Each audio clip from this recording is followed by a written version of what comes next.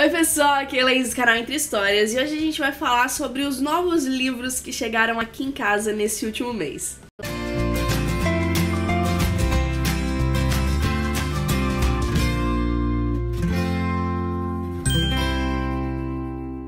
Sim, faz muito tempo que eu não faço book haul ou novos na estante, enfim, mas mês eu achei interessante fazer porque sim, tem algumas coisinhas novas e que eu achei bem bacana mostrar pra vocês.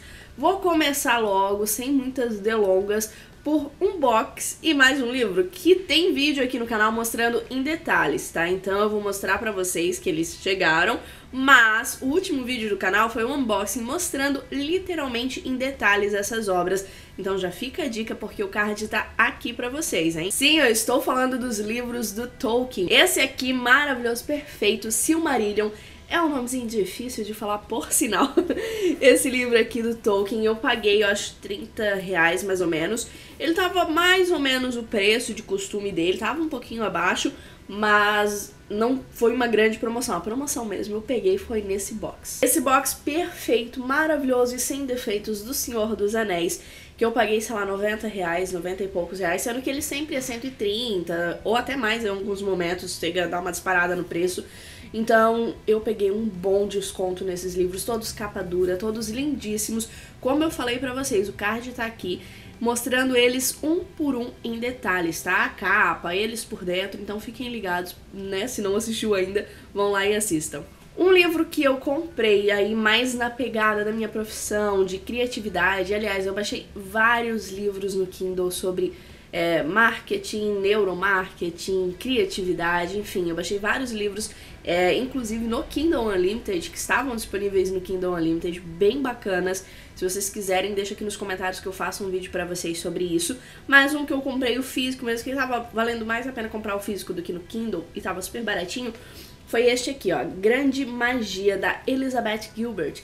A Elizabeth é a mesma autora de Comer, Rezar e Amar, e esse livro aqui é mais voltado. Claro que Comer, Rezar e Amar também é meio. é uma biografia, né? Não é exatamente um romance histórico, enfim. Mas esse aqui é mais voltado mesmo para criatividade, para profissão de pessoas, não só escritores, mas pessoas que trabalham com criatividade. Eu sou jornalista, eu trabalho com marketing, com assessoria de comunicação, com influenciadores, então sim, a gente acaba trabalhando muito com esse lado criativo de comunicação e eu adorei ter esse livro. Ainda não li, não consegui ler ainda, mas eu quero ler logo. O próximo livro que eu vou mostrar aqui eu ganhei de um colega de trabalho. Na verdade, ele já tinha me oferecido esse livro antes da pandemia. Aí eu entrei de férias, veio a pandemia, nunca mais voltamos para o escritório, fomos voltar semana retrasada, eu acho, só para pegar algumas coisas, porque a gente literalmente está em home office, mas eu resolvi então trazer para casa este livro aqui, 1356. Eu sei que ele faz parte, acho, não sei se trilogia ou série, vou ser bem sincera que eu não sei basicamente nada sobre esse livro, apenas que ele é uma história medieval, porque está na capa, mas me interessou. É o livro 1356. E sim, gente, é aquele tipo de livro que você olha pra capa e dá vontade de ler. E daí também eu peguei uma super promoção e comprei três livros cristãos que, sei lá, eu paguei nos três, eu acho que uns 30 e poucos reais ou 40 reais, sei lá, tava uns 10 reais cada um, 11, essa média. Foi super em conta. E eu só falta ler um, na verdade, os outros dois eu já li, deixa eu mostrar pra vocês. Um deles é esse aqui, que é super, super, super fininho, que é Ego Transformado, a humildade que brota do evangelho e traz a verdadeira alegria, do Timothy Geller.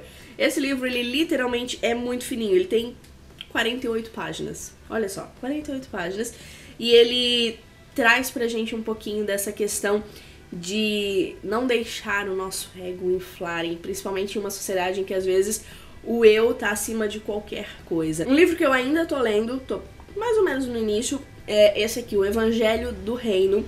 Estudos bíblicos sobre o reino de Deus, do George Eldon Ladd. Esse livro aqui, ele vai trazer para ele é bem um estudo mesmo, assim, parece um trabalho acadêmico quase, sabe? Ele traz mesmo bem questão de estudos, de dados, de versículos, enfim, de livros da Bíblia sobre o que é o reino de Deus. Muitas pessoas dizem que querem o reino de Deus, que vivem pelo reino, enfim, mas o que é realmente isso? O que isso significa na prática? Tô gostando bastante, como eu falei, eu tô no início ainda. Eu tô na página 52 e são 150 páginas, então ainda tem 100 páginas pela frente para descobrir um pouquinho mais sobre o Evangelho do Reino. Outro livro, então, cristão que eu comprei e que eu já terminei de ler é este aqui, ó, Louco Amor, do Francis Chan. E eu vou gravar um vídeo das minhas leituras do mês, vai sair, acho que depois desse, então eu não vou falar muito agora sobre ele, mas é muito bom. E a minha última aquisição, a última coisinha maravilhosa entrar pra minha estante, na verdade não tá na minha estante porque tá na minha casa, tá comigo, tá me acompanhando, é essa perfeição aqui, gente. Essa Bíblia Sagrada, leitura perfeita, é a tradução dela, a nova versão internacional, foi publicada pela Thomas Nelson Brasil. Gente, vê se não é a coisa mais linda que vocês já viram na face da terra. Deixa eu mostrar aqui pra vocês aqui a lateral, a lombada, né? Atrás igual, aqui. E olha como ela é dentro, deixa eu mostrar pra vocês. Ó. Ela tem essa letra que apesar de parecer pequena, ela é chamada de leitura perfeita porque ela é bem dinâmica. Você não cansa lendo, sabe? E tem esses espaços aqui nas laterais. Deixa eu mostrar o outro lado. Nas laterais, tá vendo? É, que você consegue anotar as coisas que você tá pensando, que você quer, pode fazer letter, enfim, o que você quiser. Eu sou o tipo de pessoa que sim, quando eu leio a Bíblia eu gosto de riscar bastante. Eu não risco livros de uma forma geral, mas livros de estudo ou livros cristãos, principalmente a Bíblia, eu gosto de rabiscar. Sim, gosto, gente. Gosto de mostrar pra vocês como é que tá. Olha só, gente. Que eu já comecei. Que a gente tá fazendo uma leitura. É, eu tô com a minha família, a gente tá fazendo um estudo da Bíblia com os meus pais e meu marido. Meu pai ele é professor de, da escola dominical, que é basicamente do ensino da Bíblia. Então a gente tá com ele lá em Levítico, né? A gente já leu esses primeiros livros e tá em Levítico. E com a igreja mesmo, é, a gente tá fazendo um plano de leitura para ler a Bíblia inteira em seis meses. Sim, é possível. É um pouquinho puxado, mas é possível.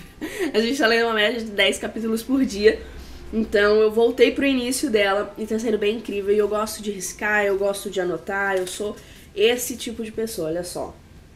Então ela é maravilhosa. Quando eu vi, eu queria demais essa Bíblia por causa justamente disso, porque eu poderia anotar, além de riscar, minha outra Bíblia já é bem riscada, mas eu poderia anotar as coisas. E isso é, é sensacional, gente. Eu gostei demais, demais dessa Bíblia. Como eu comprei pela Amazon, eu também peguei uma promoção, porque ela geralmente fica na faixa de 100 reais. Inclusive, depois eu tive na livraria física da minha cidade, realmente estava ali por volta de 100 reais, e eu paguei 60 e pouco, então eu peguei uma super promoção. Então é isso, pessoal, vamos levantar a pilha de livros novos que entraram pra minha estante nesse mês de janeiro. Espero muito que vocês tenham curtido esses livros, me digam o que vocês acharam, se tem algum deles, enfim, me contem aqui nos comentários pra gente conversar um pouquinho e se também ganharam ou adquiriram algum livro novo nesse último mês de janeiro. Se você é novo, se caiu de paraquedas aqui, é a primeira vez no canal, então assim, ó, tem uma missão para você.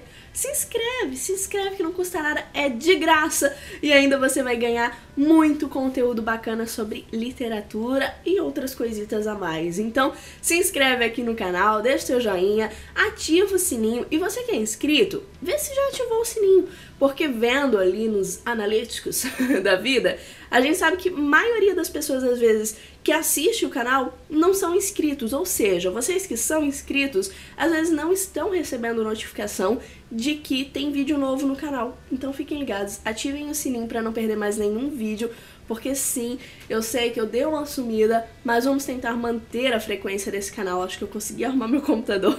vamos tentar manter a frequência aqui do canal com muito conteúdo bacana pra vocês. Combinado? Tem as redes sociais também, às vezes a gente some por aqui, mas lá no Instagram a gente tá direto, todo dia batendo um papo sobre livros, sobre coisas do dia, sobre aleatoriedades. Então passa lá nas redes sociais que eu espero por vocês. Um beijão a todos, até o próximo vídeo!